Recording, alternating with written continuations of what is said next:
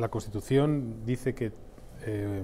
ha de regir un, principio de solidaridad interterritorial entre, entre las distintas comunidades. ¿no? Creo que cuando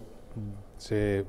redactó la Constitución, lo que se pretendía era que este autogobierno que, procede, que, procuran el, sistema autonómico o las autonomías, pues eh, favoreciera el, una, una, cercanía a los,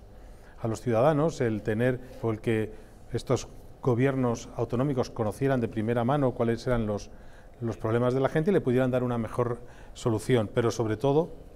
eh, todo, o mejor dicho, todo ello amparado por la solidaridad interterritorial que hace que los que tienen más puedan apoyar a los que tienen menos para que esto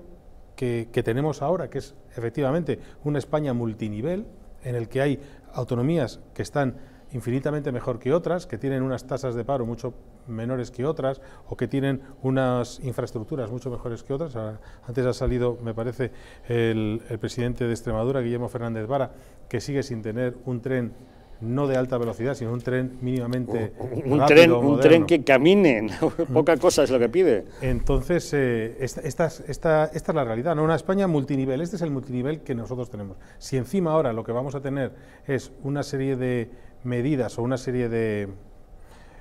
vamos a decirlo así, de, normas que van a acentuar ese multinivel y vamos a tener más diferencias entre los territorios, entonces no tiene, nada, no tiene ningún sentido eh, la, norma que nos hemos dado común, que es la, Constitución. Es decir, eh, no se está aplicando esto. Mm, se habla de Estado federal, pero se está hablando de un Estado federal que, que va en contra del bienestar de gran parte de la población. Es decir, si yo lo único que hago es que favorezco a unos y sistemáticamente